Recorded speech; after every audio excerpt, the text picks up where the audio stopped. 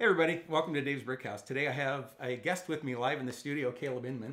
He's graciously agreed to come on and hang out with me for a bit. We're going to learn more about him, and then we have some really cool stuff that he's going to show us later on in the video. So make sure you hang out for that. So let's start. Uh, let's find out a little bit about you, Caleb. How, how when did you get into Lego? That's a great question. I so I'm currently 26. I believe I got into Lego around 12 or 13, and it's funny. So I grew up in a house where um, my uh, mom wasn't especially fond of Lego because when we were young, we had some grandparent gifts, and I think young, probably four or five, and that resulted in frustration and tears on the part of the kids because Lego, if you're have really stubby little hands and inexperienced with it, is uh, it's pretty easy to hurt yourself, and also things just fall apart if they're not pressed together well. And that's something that I've seen a lot with younger builders is pressing parts together is challenging. Yep. Um, and so that resulted in mom being like, okay, that isn't a toy that we need in the house right now. You guys aren't mature enough for it, um, which was pretty funny. But it actually worked great. So what happened was we had a lot of the. Are you familiar with K'NEX? Yes. And that's what I grew up with from probably as when I was very young until about eight or nine when we started getting K'NEX bricks. And um, so that was K'NEX attempting to do a Lego compatible uh, thing that could be constructed, and I think there was also ways to connect that to the regular K'NEX like um, lattice and bar parts. But uh, we started, uh, my brother and I would start playing with the K'NEX bricks more than the K'NEX. and so mom realized that we were about ready, Ready for Lego. Lego, Yep. yeah. Um, and what I was starting, I was getting to the point where my engineering brain was beginning to turn on, and I was like, these aren't high enough tolerance for me. There's too much slop. And it was funny that I started to understand you concepts like that. Yeah, the Yeah, K'NEX bricks. yep. Um, and so I um, asked for a couple Lego sets, and I got one from um, one of my aunts whose kids would receive Lego sets but then never build them. So she just started shipping them all to Ooh, that's nice. Yeah, um, didn't get too many from them, but it was enough to kickstart me. So I remember um, my some of my family was in New York, and I didn't get to go on that trip. It was actually for a K'NEX. My um, older brother won a K'NEX competition, and um, think he won that twice. Um, but he went to New York this time to go to the a K'NEX factory and then go see a new K'NEX being unveiled in some tower in New York. So I didn't get to go on that trip because there wasn't. Um, we didn't want to take the whole family. But over that trip, um, I built the original UCS Lego Batmobile, and that was the like instantaneous transition for me between K'NEX and Lego. And so it was kind of funny because my brother kept building K'NEX until he just started getting other hobbies, um, and I went straight down into the, the the Lego deep dive. So my very first set was um, well, besides that one, the first set that I purchased with my own money, um, I remember, I think I, that was at Target, uh, was a bucket truck from City, probably about 15 years ago. Oh yeah, those are cool Um, sets. and I still like a lot of the city sets. absolutely, City's one of the most consistent in terms of play value. Yeah. Um, but that bucket truck was amazing. Then the other one was a Christmas present I got that year from my older brother, which was um, was like a four dollar little uh, barbecue stand set with a chef guy. Oh, With nice. just a little pop up thing and it had a hot dog and a ketchup mustard. And that is still my favorite set because it's so specific and I buy it like every time I ever see it. So I've, I'm growing a small collection of just great. unopened, um, new and packaged That's great. barbecue stands. Back to one thing you were saying about tolerance. That I still get. I'm amazed at how you can take a piece. I mean, I, I bought way too much Lego. Just for, for your benefit, the people on my channel already know this, but I only got into Lego in like late 2019. I never did it as a Oh, cool. kid, and I'm 64 now, so Yeah. that was like what five years ago. Um, but I went into what I call um, accelerated AFOL mode, where I was just buying stuff left and right. So I got a lot of stuff bulk bulk bulk buys off of Facebook and places like that. So I have a lot of old Lego, but it's amazing how you can take a Lego brick.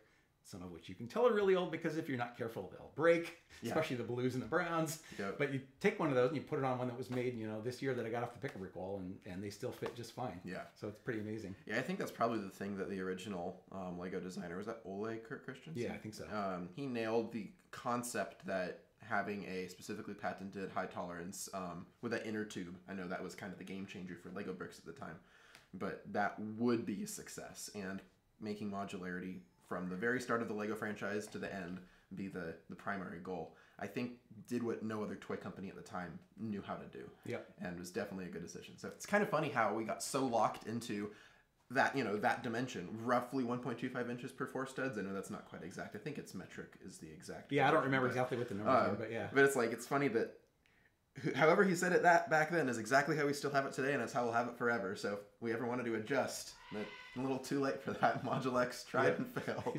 yep, yep. So, what kind of things do you like to build? Do you mostly do MOCs, or do you do sets on occasion, or Great question. So, um, I really quickly started wanting to do MOCs. I think when we grew up with K'NEX, actually, that probably helped the fact that I grew up with K'NEX because the K'NEX sets were so uh, they weren't really designed with the intent that you build what the box shows. Um, they were intended to feed a collection of parts and build whatever you want. okay? My brother being part of the K'NEX um, competitions, obviously that requires custom building. And that competition mindset, which I find funny how few hobbies there are that have this sort of international like competition sort of thing that people just are like, hey, let's go have a, a Lego contest. Like uh, maybe art contests exist, but there probably aren't reading contests or like I don't know book rebinding contests. I mean, I, it just I find it so funny that Lego hobbies specifically um, and other things very similar to it have this contest focus. Anyway, because of that, I uh, because I was accustomed to the, the K'NEX contest, I started to submit to the monthly um, Lego magazine contest. And so that's where I started creating MOCs, and I still have a few things. I should have brought them with me, but they're some of my earliest creations. I remember one of the things that I made, which I have such bad memories of that I feel like I must have dreamt it, but I'm pretty sure I didn't. Hopefully, I can find photos of my parents at some point.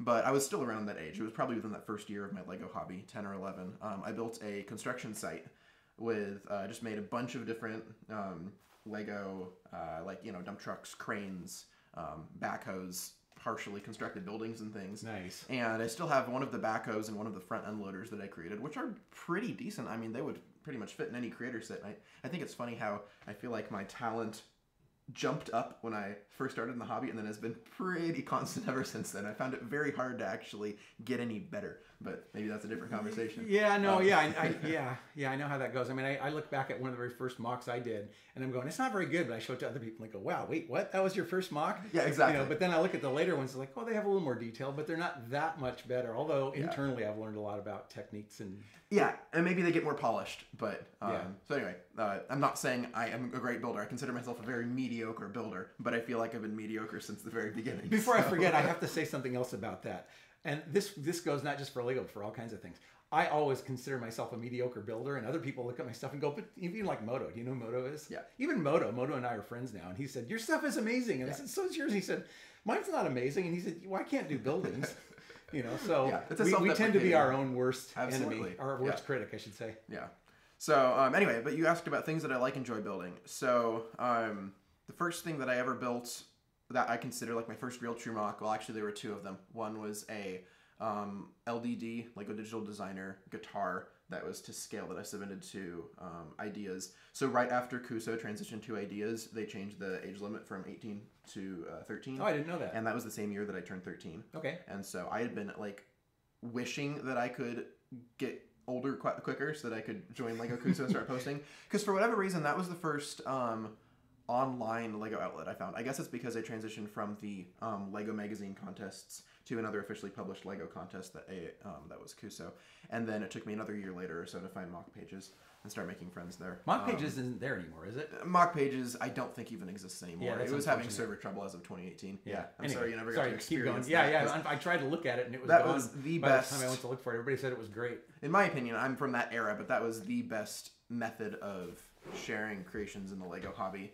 Um, it was written on a terrible coding base, but it had the ability to post multiple pictures, post a description, very streamlined, and not at all the um, like instant satisfaction that all current social media is built around. Yeah. So it was much better tailored to archival um, creation from both a visual perspective and a verbal perspective. So- Yeah, but I, sorry, I kind of interrupted you. Oh, there. yeah. I'm not sure where you were going no problem. Pages. so but- the second thing that I built was a. Um, I stayed on LDD for quite a while because my collection was pretty small at first, and for I, that was the same era where I started to like be like, ooh, I want to be a, a CAD designer when I grow up, um, which I don't want to be, and I am really glad that my work is a bit more interesting than that. But uh, I built an eighteen thousand piece, um, super accurate model of Cloud City In LDD? a full interior. How- yeah, what at what age?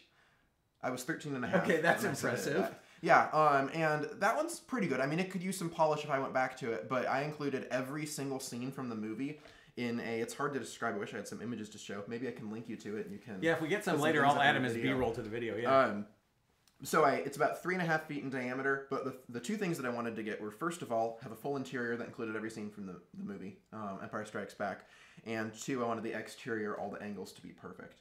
And so um, I did a bunch of wedges overlapping each other. Actually, when Captain America's shield came out like a year ago, I saw that and was like, I think I could probably redo Cloud City using that technique. So it's like the first time in the last ten years that I felt like there's a possibility I could go back to that build and actually make it yeah. um, physically possible because that was a thing. No way this could be built in real life. Um, it wouldn't hold itself together. And I built it like with these Oh, ideas yeah. of being you could pull the bottom off and put it on stands. Um, so it, it looks really cool in the renderings, but uh, it, would it would have taken a Lego designer quite a bit of effort to turn it into a set. So anyway, that was that was where I started meeting people in the Lego hobby, and so that's where I initially met. Um, I'm not sure if you're familiar with Saabfan or Car Creator. I think 2013 is his tag. I might get that wrong, but he was the one who created the Saturn V um, Oh, rocket. Okay. And so he and I um, talked a lot, and I hung out with him and a couple other friends. And so uh, he was one of my very earliest and first um, contacts in the Lego community. Also, Umbermanus, who's currently part of the. Um, I can pull it up. It's on my phone. It's a digital building uh, Discord group. Nice. And um, he and Saabfan have been running that for the last several years. But um, so there were some of my first friends. Then I went over to MOCpages and met a lot of local guys. So Kevin Warner, um, Doug Hughes, uh, Timothy Shortell, Jake. I forget what Jake's last name is. Sorry, Jake. Uh, I forget what his last name is. too. Mountain Hobbit. Yeah. Uh, And then probably Eli Wilsey Eli and Grant, Grant, Davis. yeah. And yeah. So anyway, met a lot of good guys, and so we've had a kind of a um, little informal um, a Discord group that we call a. It's not a lug, but it's like a you know quote quote lug. Uh, so we called it Radical Lug, and we've built uh, a lot of collaborations. Brought in Nice. Bricks Cascade the last almost decade. Well, along those lines, you know, I, I live outside of Portland, um, and Bricks Cascade is my home convention, and I'm a member of Portlug. And I don't, I can't compare it to anywhere else, but the Lego community here is really vibrant, and we have so many It is. amazing It's builders. Weird, but it's amazing. Yeah. show up. You know, and we've had like Boone is now a Lego designer. Boone was in our lug, and I became Yep. good friends with him. And I think that's how I got hooked in with so many other people, and maybe even how I got involved with the Creations for Charity stream, which we'll get to in a little bit, I promise. Oh yeah, we're getting there. Sorry. Um, but uh, you know, Boone, and then who else did we have? We had um, um, I'm, oh, Blair just became a Lego Mhm. designer, and we've had a number, a number of other people. yeah. And we just we and and the lug we, we typically have the last like four or five months we've had 50 over 50 people at each of our meetings. That's amazing. Yeah. That's really cool to hear that that's thriving. I probably need to look into joining a local lug. yeah, I don't know what there is down there, but you can. There's a there's like a the the land the Lego Ambassador Network site has a place where you can go find lugs near you. Yeah. I wouldn't be surprised if there's one in Corvallis. Uh, there might be. I don't think Oregon has that much. Similarly to the Lego store, I think there's only one, but I could be wrong. Yeah. I'll by, by the way, this is an interesting little piece of trivia that I learned at our last lug meeting.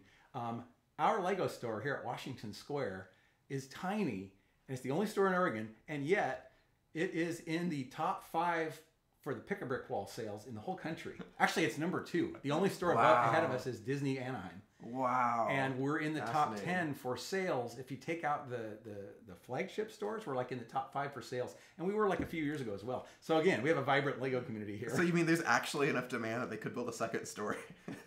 Yeah, I there, there's like three in Washington, and there's only one here. I know. At don't- least three in Washington. There's three within 45 minutes in Washington. Yeah, you'd think there might be one down in Salem Yeah. or Eugene or something, but I guess there isn't. So. I did an internship up at Seattle or in um, Everett, and it was so nice being able to be like, I want some stuff, and then just do a circuit, and in an hour I've hit three Lego stores. Yeah, I still need to go up to those. I haven't been at. Oh, I'm gonna go visit a friend in Seattle here in a couple of days. Maybe I'll try to do that. It's worth it. Yeah. Yeah, might as well at least get the Lynnwood one. Anyway, I'm having a great time. We're kind of getting off track though. Yeah, Back to what do you like? Things I like building. Yep. Um, so first of all, I'll say what motivates me. For whatever reason, the only thing that really seems to motivate me to build these days is collaboratives. So I pretty much will build whatever the heck somebody is building in a collaborative environment. Um, and that's been either with the Radical Lug group or it's been with Rebel Lug, who I'm currently a member of. Um, Rebel Lug is amazing. so- Some of the stuff they do. yeah, it's a great group of people. Uh, so that is honestly the only thing that I think I've voluntarily built for the last few years. Maybe I could add contests to that. I know I participated in, or at least attempted to throw my hat into the ring for Vign Week, and then um, Iron Forge. Maybe might have been Iron Forge. Um, but yeah, I, I don't really build much for pleasure right now, or just things I want to build. It takes a while. Actually, very just I, I built a Christmas gift, and actually I, I do do things like that. I'll spend too much time building Christmas gifts. I agree with you on collaboratives. I'm actively involved with the Jurassic Park collab at Bricks Cascade, which is huge. There's like I don't know, 15 of us now, and it's one whole quadrant of the thing. It just keeps getting bigger every year. Yeah. If we could get more space, we probably could make it even bigger. And then I'm uh, theme coordinator, one I should say co- co-theme coordinator for the post-apoc theme at Bricks Cascade. Yeah. And we've had this bunker built. I think I had forgotten, so I'll, I'm going to sidetrack on that for a minute, and I'll, I'll put a link to the, some of the bunker videos that Beyond the Brick did. They're really cool. But that, that thing has just gone crazy. People love it, and I'm having a blast with it.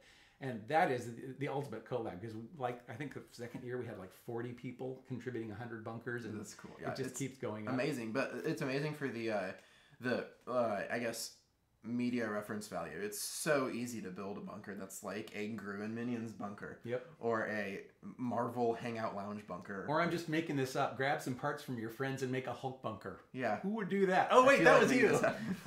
that was the one that didn't have any sides, right? It was just Hulk holding up Yeah, what was that's above him. correct. Yeah, So, so the idea is what everything 16 by 16 was at the Yep. um, Yeah, format. 13 bricks high, 13 bricks 16 high. by 16 Yeah. Um, so I thought it'd be funny to uh, not actually build a bunker, just build a character. So that gets that answers the second half of this question. What do I actually like building? My favorite thing to build is still um, character related builds, uh, whether it's a portrait or a small full like model of an actual creature. So I created Hulk just in this like crouching position.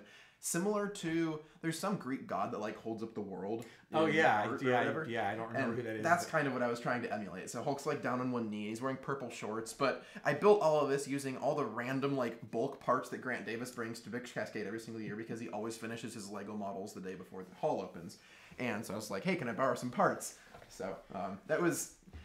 You sort of have to make up fun things to do during the day of the convention, and that was one of the most fun things. Yeah, I mean, I, I, decided to do. I, because I was so involved with other things, I wasn't active with the, the, the bunker part. My friend Rob Willing was the bunker master and has been for the last few years. But he was telling me that, yeah, somebody just kind of brought this in overnight. Was that true? You built it on site? And, Oh yeah, it took me a couple hours yeah. to put it together. And we always love those. Because, I mean, it's interesting because Rob's the one who has to Tetris this all together and make sure they all fit. But it's always fun to get builds overnight as long as they're to the spec. Then Yeah. that's great. Yeah, that was pretty great. And actually, that's one of the biggest things that I think collaboratives are realizing is that A, you, you can have a ton of people in a collab if B, you create a good um, spec for it. So I know city layouts, microscale modular city layouts have always followed a sort of template, but um, New Hashima is That's a the one I was going to mention. That, that yeah, we actually had somebody in our lug meeting two months ago that was part of that that brought us a module, which was very cool. But that is one of the most amazing. I think that's the longest video I've ever seen from Beyond the Yeah, Brick. It was like a absolutely. two and a half hour tour, I think. Absolutely. That was at Brickworld Chicago, which is the first time I went was this year. Oh, that's great. Yeah, and so I was I kept watching. It's like, why are they over? They're still shoot. Why are they still shooting? What's going on? Yeah. I didn't know what it was yet because I was hanging out with some other friends, and then wow. Yeah, I don't know if I ran into you, but that was the first year I went to Bricks. Uh, Brickworld Chicago as well. Oh, that's um, funny. specifically because I was contributing to the. Okay, that makes sense. I took a cube in a, a very small uh, tower, um, and I only got to stay until Friday because I had to leave for a wedding in Seattle on Ah. Saturday. But it was a really good experience. So yeah, And for anybody who might hear in the background, if you hear Micah screaming, that's that's my macaw downstairs. I've talked to him about him on the on the stream before, and he's he's a little jealous that we're up here without him. But you know that's that's the way it is. And on that note, let's let's pivot a little bit to the next reason that we're here. Um, what brings you here was um, so every year there's well there's a, a charity called Creations for Charity that does stuff throughout the year. And honestly, I don't know that much about what they do throughout the year, but I know that they're focused on getting uh, Lego sets to underprivileged children. I think that's right. yeah, And uh, every year beyond the brick, well, this has been the, the 10th year. At, right after Thanksgiving, they do a 24 hour live stream. And I've been involved with that for the last four years. And it's always tons and tons of fun. You get all kinds of people, you get Lego designers, you get people all over the world since it's running for 24 hours. And this year, we had a number of people generously contributing MOCs that they had done. Um, I think there was at least 10 of them. I don't know. I kind of lost track and I wasn't watching for the whole 24 hours, but there was least, quite a few. And this gentleman here was one of the guys that built some MOCs. Um, and what they did is they put them up for auction, and um, just over I think maybe a 30 minute period, they let people put in bids, and whoever won, there you go. And I ended up winning a bid for an auction that Caleb built. It is really really cool. You'll see it here in a minute. I mean, it, it it, has a real organic feel to it, and then the colors that you chose are some of my favorite colors. That's so that was awesome. really nice. Um, but I want to talk a little bit, and we'll see if we can get some footage of this later. I want to talk a little bit, if we can, about the other thing you contributed because Yeah. that was the amazing. antenna art. Yeah. Yeah, so um, this kind of falls into line with me enjoying building uh, character builds. So my very first creation I ever submitted to Creations for Charity. I wish I knew what year it was, but what is it right now? Twenty three. So it might have been twenty fourteen or twenty fifteen. I want to guess.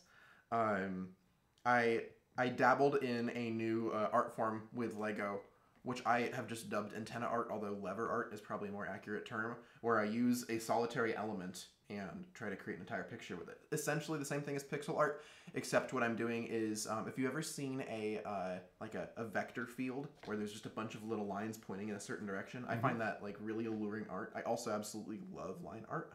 Um, but I'm taking it a little differently, where I take every antenna and I just point it in a different direction to convey a little bit of a um, angle or an edge, and then together with a 48 by 48 base plate, you put a couple thousand antennas down on the on the platform, and you start to see this shape that really um, t- takes form. And what I like about it versus pixel art, with pixel art, there's no defined direction uh, to the pixels. You have to back up quite a bit before you can start to actually see the image because it coalesces and everything turns into a small dot.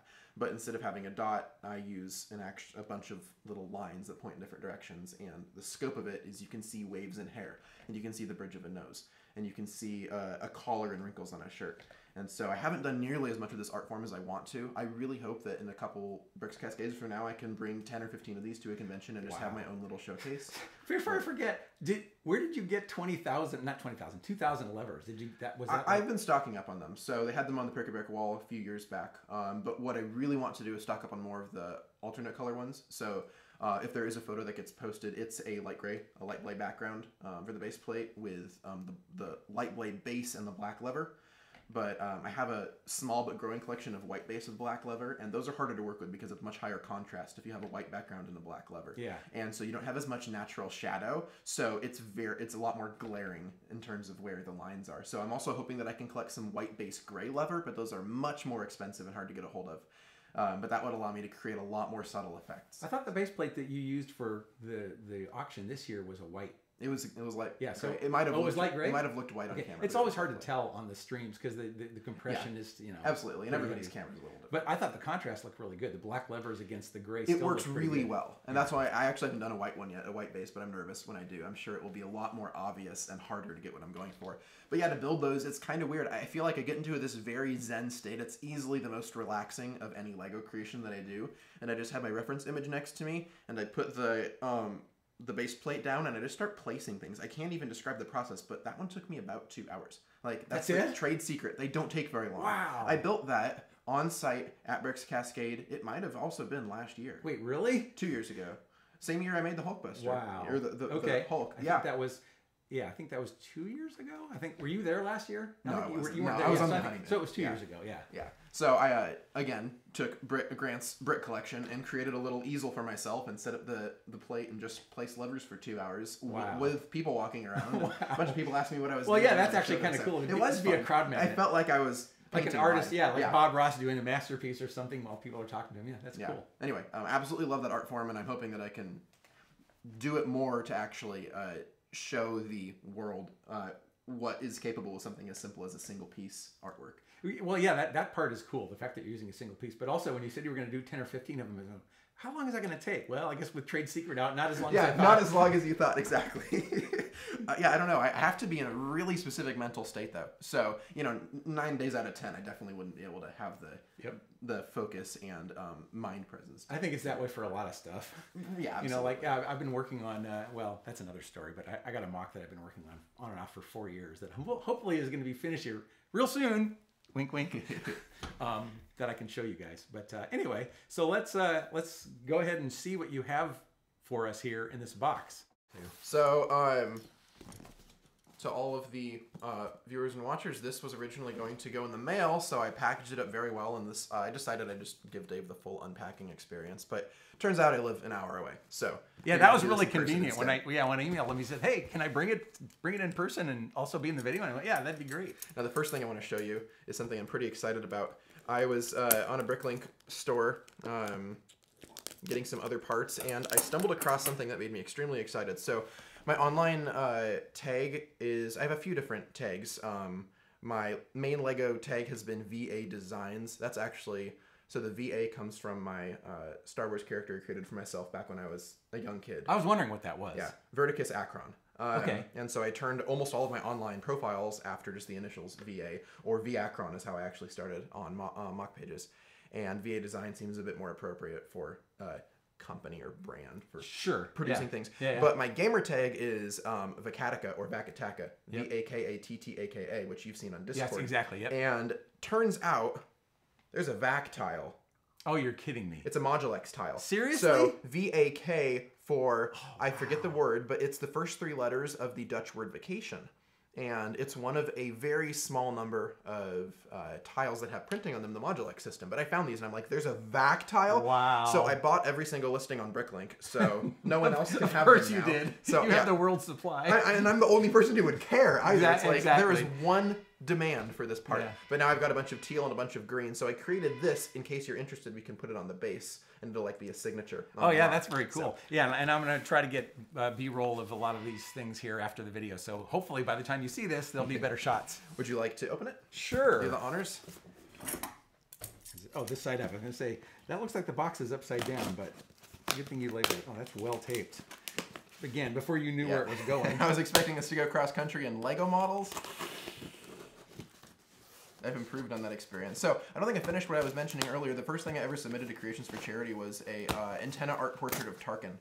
Oh, nice. So it was kind of fun being able to come full circle and create and sell a portrait of Obi Wan Kenobi this time. That's interesting. Where'd you get that stuff from? Joann.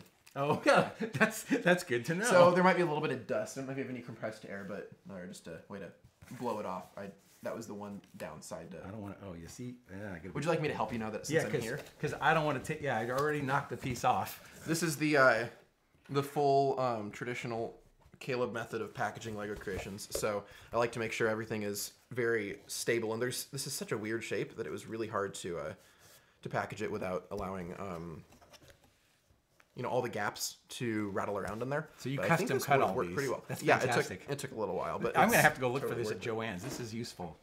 It's not as cheap as I expected, so I've got a giant block in case you ever need a small amount. Okay, but I'm slowly unveiling what's inside there, so I kind of just made like a little pocket for every single little section in there, and it's I designed it to be modular, um, so it's very easy to pull it apart into sections. So Oh, nice. And you can see there's a lot of purple in there, which is what I was alluding to. That's one of my favorite colors. Yep. In Lego, my favorite colors are dark green and dark tan because they just work for everything. But in general, I love purple. So there's the midsection. Um, that actually is easier to blow off than I was worried it would be. Uh, there's the head. Is this your primary camera? Yeah. Okay, great. Um, let's see. There be the tail.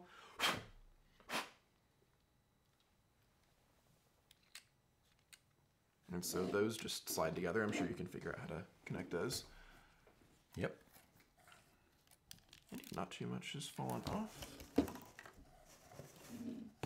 As I say that, I hear a rattle noise. Yeah, there must be a piece. yep. At least a few pieces that are missing. That doesn't go there. so, um. Okay, yeah, it's like that. You can tell based on the orientation of the seahorses. So that's where the head goes, but there's another piece we're going to add before that, and then the, you This can goes plug there, the bottom yeah. in right there.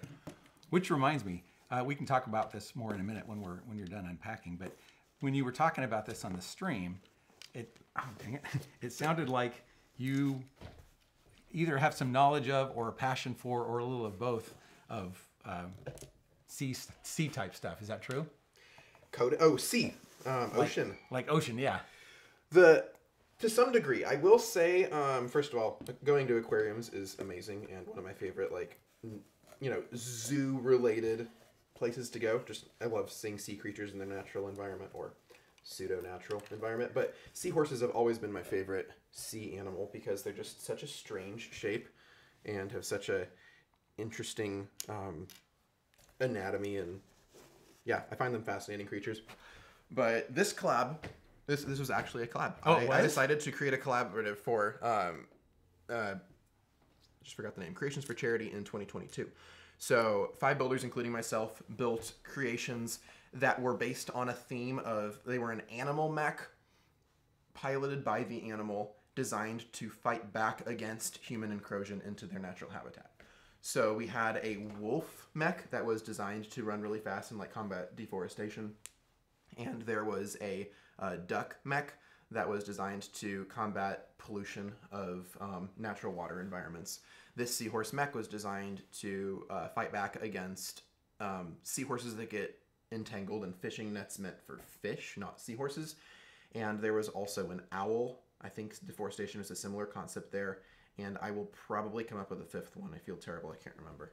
Um, but that was fun because I actually got some people who normally wouldn't have contributed to Creations for Charity to, to make a creation. So I'm hoping I can do that every year in the future. Yeah, that's actually a really neat Get idea. some folks together. And it may be similar to what you were saying, where you know you, these days you don't really build on your own, but you build if you're part of a collab. That's exactly. They're, they're, back back to that for a minute. I mean, not only is the, the Jurassic Park thing, it's what we do is amazing, but just the, the the people and the social aspects of aspects of a collab. You learn so much. You're working with really fun people. Yeah.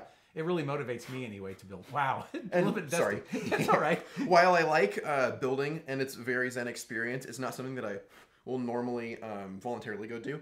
And so the I, I feel like collaboratives are two things for me. One, it's uh, an, a social experience, and I find that important. Two, it is quite literally FOMO, fear of missing out. Like I just I'm part of the collab because if I wasn't part of the collab, then I wouldn't be part of the collab. Exactly. So um, and that is a crazy motivator. These are cool. This is a cool use of those. We'll get some Thank more close-ups later. Yeah. and throw those into the video. Yeah, I really enjoyed making a, a little power generator back there that Yeah. tied into some of the work stuff I've been doing and how I'm starting to see mechanical elements in a Ah, realistic yes. environment. So Yeah.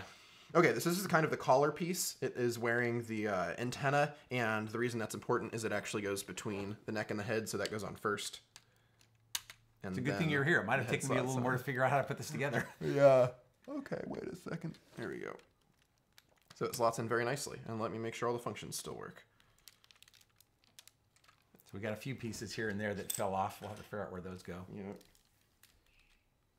Yes, I'm glad I'm here too. This is uh, the best way to make sure the creation gets built completely. Okay, so that piece goes here, Yeah, there we go. Yep. And then this piece goes. I'm just by process of elimination should be able to find it. It must be right there. Yeah, yeah. So Yep.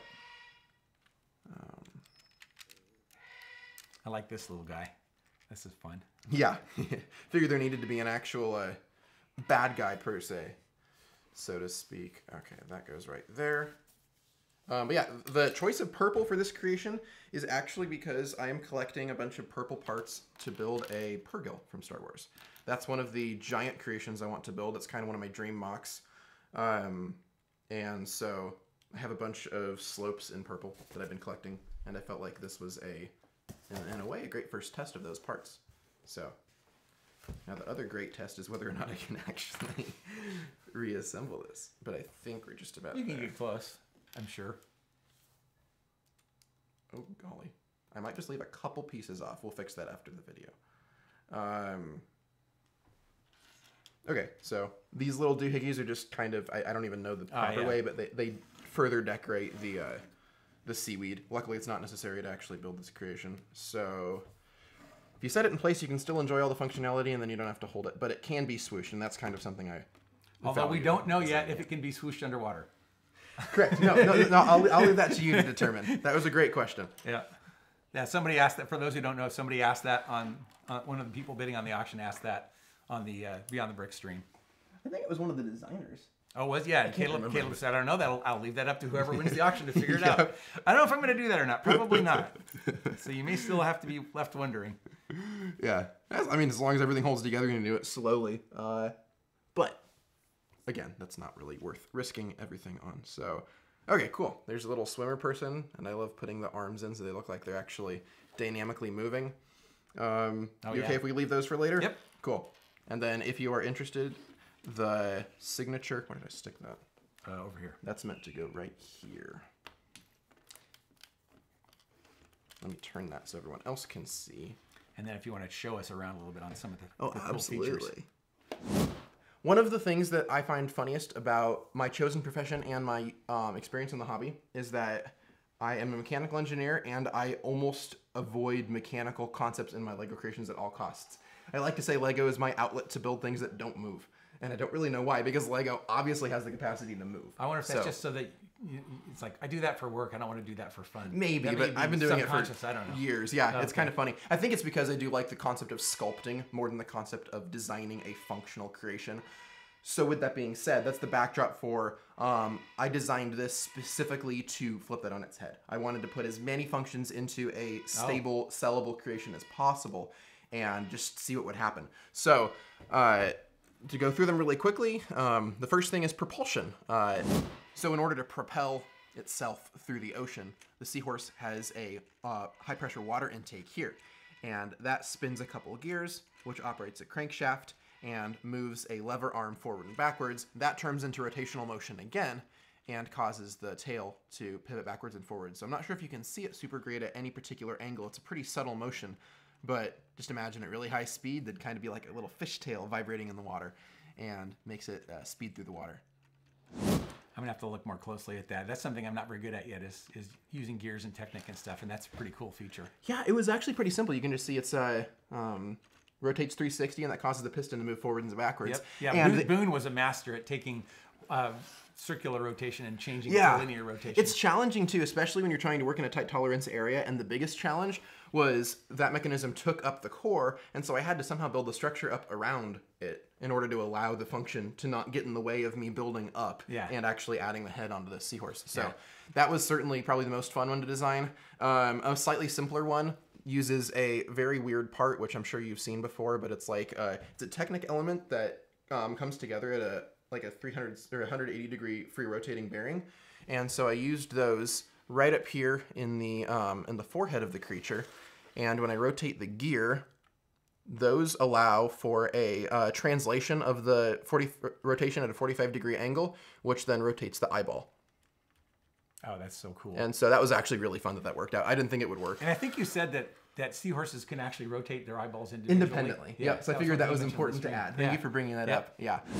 Now, this seahorse mech's primary purpose is to save and defend seahorses in the ocean. And seahorses, sadly, are one of the most uh, susceptible creatures to the fishing industry. They're sort of a collabor- um, col- collateral damage where seahorses like to grab onto things with their tails. And so nets provide tons of opportunity to latch onto and drift through water with. And because of that, seahorses end up dying because they get pulled out of the water and drown in the air.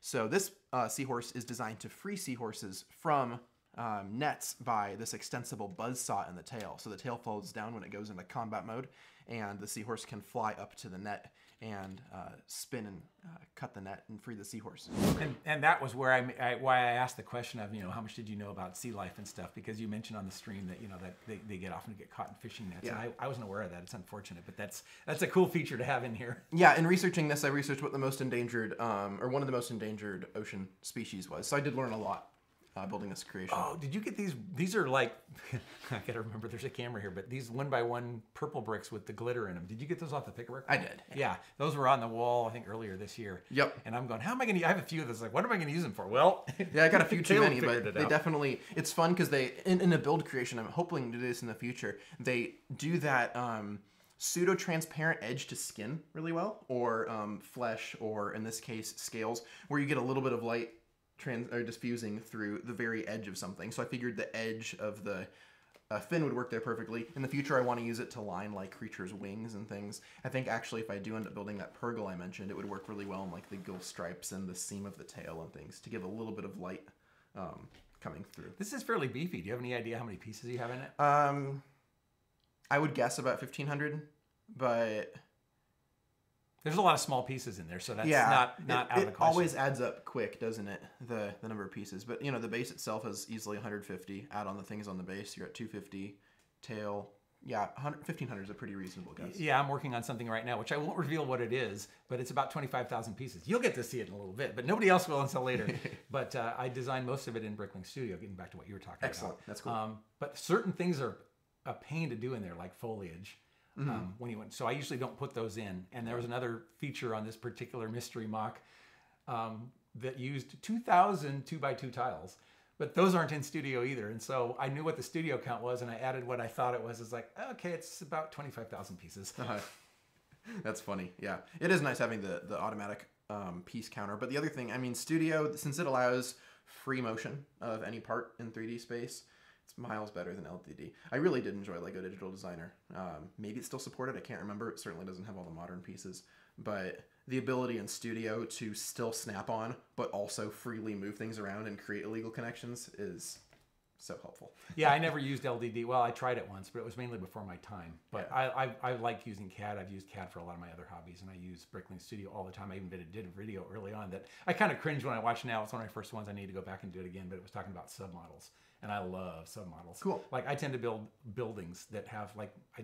I, I don't remember what it, I built. It. One of the first things I built was like a fourteen thousand piece hotel. Yeah. And so it had a whole bunch of window seg- window segments that were the same. And so I just built them into a submodel and put them all in there. And if I wanted to update it, just change it once, and Yeah, absolutely. they're all updated everywhere. Yeah, a lot of people I've heard riffing on the uh, um, part or instruction design feature in Brick Studio, and honestly, maybe there are better ones out there, but um, I, LDD didn't have anything like that, and so I find it helpful to group the model. And if you design a model in Studio, grouping it initially, it makes making instructions a breeze. Yeah, I've never worried about making instructions, but I will say, eh, who anybody who complains about how it works, making instructions is hard. People don't realize how much work there which is to it. software you use, I'm sure. But Yeah. in order to do it right, like you said, you really need to be thinking about it from the beginning during the Yeah. design process because, like, I'll have a tendency to work on this side and then come over here and work on that side, Yeah. and that's not how models are built. They're built like this. So if you're Yeah. going to do a destruct instructions, you got to kind of build a layer at a time.